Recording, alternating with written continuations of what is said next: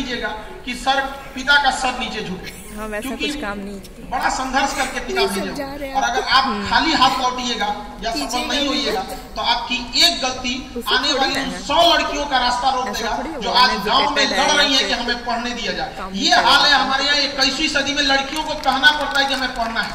तो आप लड़कियाँ उनके लिए रोल मॉडल बनिए यहाँ पर ताकि उनको देखकर समाज में बहुत सारे लोग आगे बढ़े। हम लोग के अभी कुछ दिन पहले की बात है।